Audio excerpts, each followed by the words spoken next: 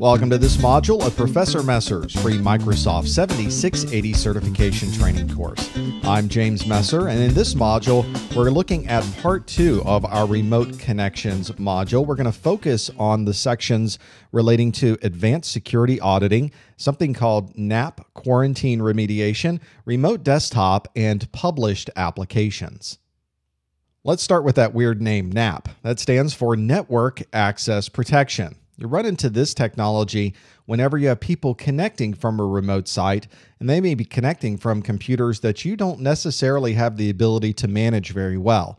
You certainly don't have inside of your network a lot of people who are not running antivirus, people who do not have their firewalls turned on. So, why would you allow that same connectivity for people coming into your VPN? After all, when they connect with their virtual private network, they're essentially a workstation on your internal network. And if they're infected with a virus or worm, there is potential to infect others within your organization over that virtual private network. So we created this technology called NAP, and that stands for Network Access Protection. And like the name means, we can check those machines that are connecting to us to see if some of these things are configured. For instance, is a firewall turned on? Is it registered with the Windows Security Center? Is it enabled? Those are important things if someone's connecting. Same thing for virus protection. Is virus protection installed? Is it updated to the latest set of signatures? Is it enabled properly? We can query that machine and have it tell us if that's really the case. Same thing for spyware, which is a little bit different than antivirus. We want to be sure it's turned on. We want to be sure they're up to date. Then we can go even a step further. Is the operating system and the applications on the operating system updated with the latest patches? We want to be sure that they are completely secure when they're out there in the world. So we can see if it's checked from Windows Update to have its updates done. And we can perhaps see if the client wants to download them right now and install them on that computer. And the last thing we can look for are security updates. Not only is our applications up to date, but all of those patches to the operating system are installed based on the four security severity ratings that are on the Microsoft Security Response Center. We can configure our NAP to be able to see if that's really the case on those workstations out there and then decide what we'd like to do with them. If any of those things don't apply, if antivirus isn't turned on, if they don't have the latest application updates or the latest security updates, we can put them essentially in a section of the network where they can't cause any harm. This is called remediation. So they would be on a remediation network in sort of a timeout mode where they now need to have that problem fixed. So we can have them go out to this remediation network and perform the updates they need, turn on the things that they need before they're ever allowed into the network. And you might have a Windows Server update services out there with all of the patches they would need so they can download essentially from your local machine. You can have all of your updated signatures out there for them to download and only then do we allow them back onto the network. Now, that's just an option. You may be in an environment and you have not have enough resources to create a remediation network. And that becomes a little bit more complicated. Then your end user is just going to be shut out of the network completely. And it's up to them to be able to handle the updates and to correct the problems on their machine. Those people may not have the resources personally to be able to do that. You may have to be your own help desk, or you may now have to call back to the corporate help desk and have somebody step through resolving those problems.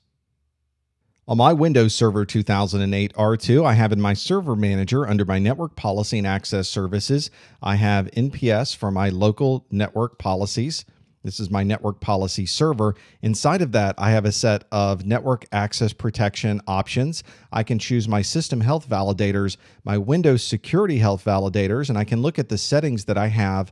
I have a single default configuration in here right now. And if I double click, you can see you have quite a few options here for is the firewall enabled? Is antivirus enabled? I'm going to scroll down a bit. You can see the others are my automatic updates turned on, and you can even restrict access for specific security updates, and you can set the priority of security updates that must be installed on this computer who's trying to connect in via a remote site.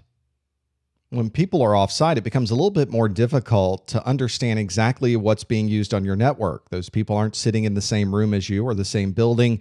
Sometimes you aren't exactly sure who's connected into the network and what they might be doing. So you need some way to understand who may have logged on, who may have logged off, what happened during that time frame. So you want to look at some ways to do security auditing. One way to do this is to look at information from remote users. So you'll want to enable a configuration in your group policies under computer configuration, Windows settings, security settings, local policies, audit policy, and decide to audit logon events for all of those different settings. You can see these logon events though in your security log in your event viewer, and now everything will be consolidated to that central reporting. So you'll be able to know exactly when somebody logged on and exactly when someone logged off. You'll see these logs in your event viewer. So if you go into your event viewer, this happens to be on my Windows 2008 R2, but it works the same on your Windows 7. You can go to your Windows logs under security and see then all of those examples of somebody logging on or logging off over those remote connections.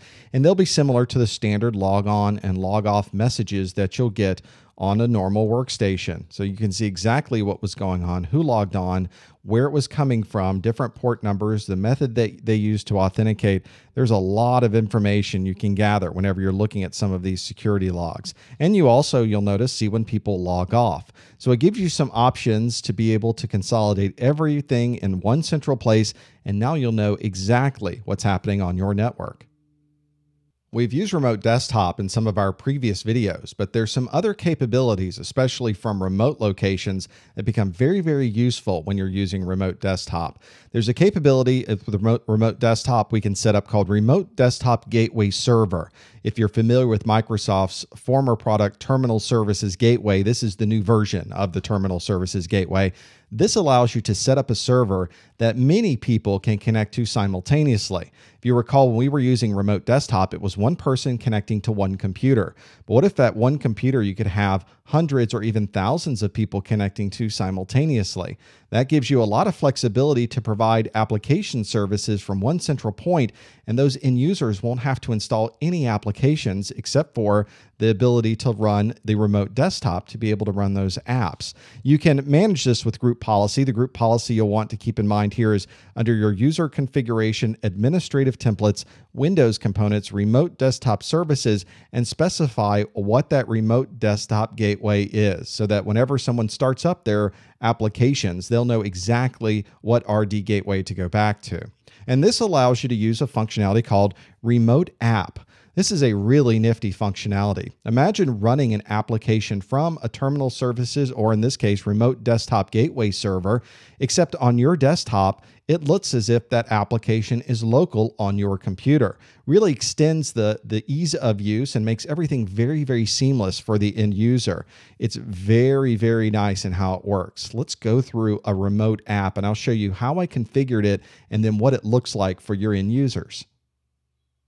We're back on my Windows 2008 R2 domain server that I've also loaded remote desktop services on, and I have a remote app manager that's running on there. There's a lot of options here with this remote app manager to create these files called RDP files. And these RDP files you can then drag and drop onto an end user's desktop, and all they need to do now is click that RDP file and it would run the application locally on their desktop. You can also create a Windows installer package for this that would package up the install so they can run an executable or an MSI file and install these little remote desktop remote app packages, even multiple packages on their desktop simultaneously.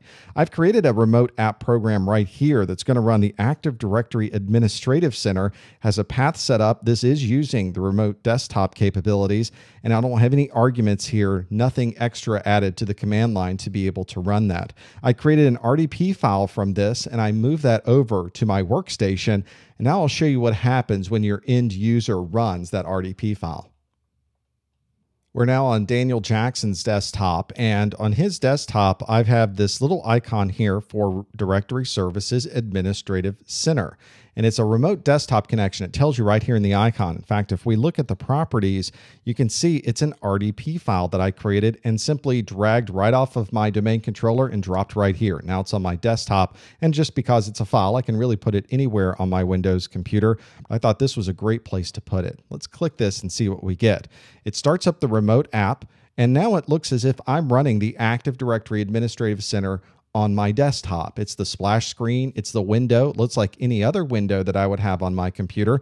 But in reality, this application is running on a completely different server. If I bring up my task manager, it's going to show you under the processes running that I have a number of things happening here. None of them happen to be that Active Directory Administrative Center. In fact, it's something that's a little bit different. You can see that I've got a Microsoft Terminal Services client. If I make this a little bit bigger, we can look at the description. It's a remote desktop connection. So I'm only using 10 10,000K, 10 meg of memory and not really doing much more than that, a very small amount of memory, and I can run some very, very big programs in here. Now, the remote connectivity, of course, is going back and forth between me and that terminal services machine. So it's going to be important that I have a nice network connection between the two. But because I have some customization on what I can do with terminal services, I can turn down the number of colors. I can make sure sounds don't go across the connection and other things. I can really have a, a nicely optimized application experience without actually running the applications locally on my desktop. Let's review some topics from this part two of our remote connections module. Our first question is how can you restrict users from remotely connecting to your network if they're insecure? We don't want devices that have antivirus that's turned off and their firewall isn't working connecting to our network, so we can take advantage of our network access protection or our NAP policies. Our next question Where is access log information stored for later auditing? We want to go back and see who logged on to the network or who logged off of the network. We can go right to our event viewer and look inside our security log. And the last question which remote desktop technology allows you to run remote applications seamlessly on your desktop? We demonstrated just how seamless that was using Remote App. That covers our requirements for this second part of our remote connections module. We've looked at advanced security auditing, we've done some NAP quarantine remediation, looked at remote desktop, and how we can do published apps on those remote desktop sessions. If you'd like to see any of our absolutely free Microsoft 7680 videos, we have other training videos on our website, some online forums, and much more. You can visit us at professormesser.com.